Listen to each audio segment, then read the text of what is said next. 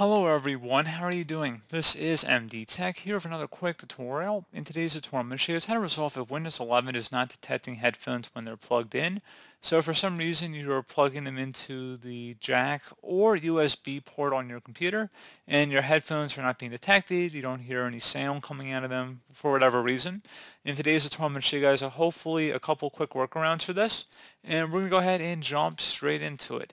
So first thing I recommend doing would be to open up the search menu, type in advanced system, best match will come back with view advanced system settings. Go ahead and open that up. Select the hardware tab and now you want to select where it says device installation settings. Choose whether Windows download manufacturer apps and custom icons available for your device. So go ahead and select that button right there. And you want to set it to yes if it's not, and then select Save Changes. Once you're done with that, you go ahead and close out of here.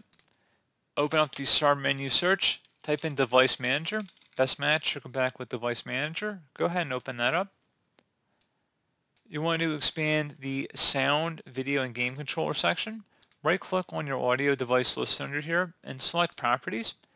You want to select the Driver tab, and if there's a rollback driver option, you may want to select that. And then if not, you can always select Update Driver and then select Browse My Computer for drivers. Select Let me pick from a list of available drivers on my computer and then go ahead and select the driver specific for your device. If you only have a generic one in here, that's the one guess you have to go with. And then select Next. It says Update Driver Warning. Go ahead and select Yes. Select Close. Close out of here. It says, do you want to restart your computer now? And we do need to restart in order for the changes to take effect. So go ahead and select yes.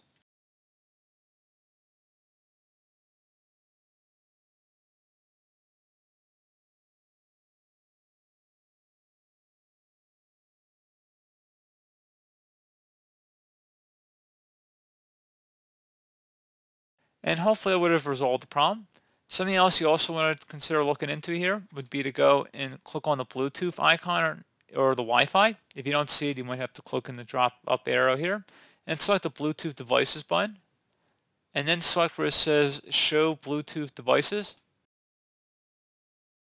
Click on the plus versus add device and then walk through the on-screen instructions here if you have to go ahead and actually add a wireless Bluetooth device if that is your connection type in here. So let's just say Bluetooth. Go ahead and select that. Make sure it's turned on and discoverable.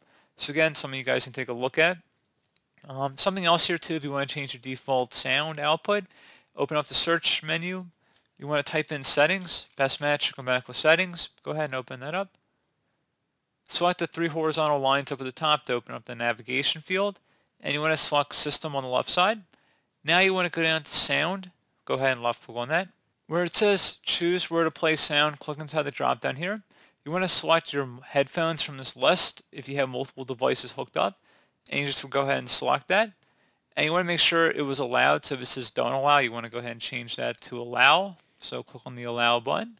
And you also want to test it as well. Make sure the volume is turned up on that as well. Again, you'd be going underneath the headphone settings. So go back to this previous page. There would be an option for headphones. So if you're still having a problem, you can also try troubleshooting it. So open up the search menu type in troubleshoot, go ahead and select troubleshoot settings. And now you want to go ahead and scroll down to troubleshoot. Go ahead and left click on that. Select other troubleshooters. So on the right side on the top where it says most frequent, there's something that says playing audio. Go ahead and select the run button.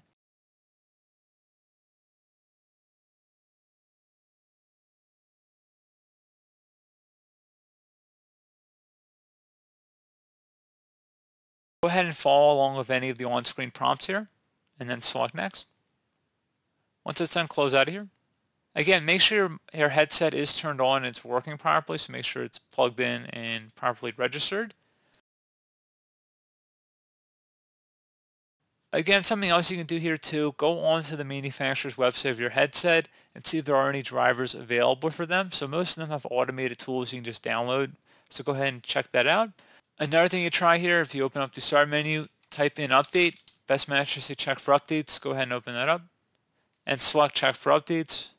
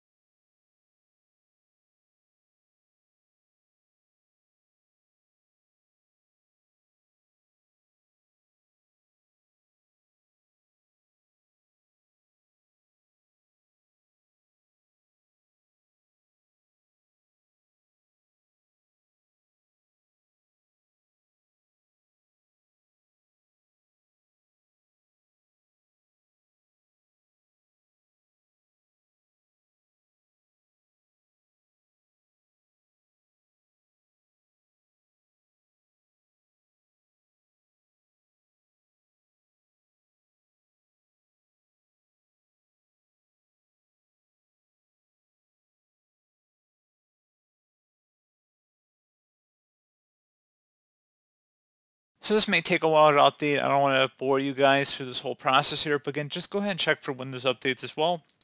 Something to take a look at, but pretty straightforward process. Do hope I was able to help you out, and I do look forward to catching you all in the next tutorial. Goodbye.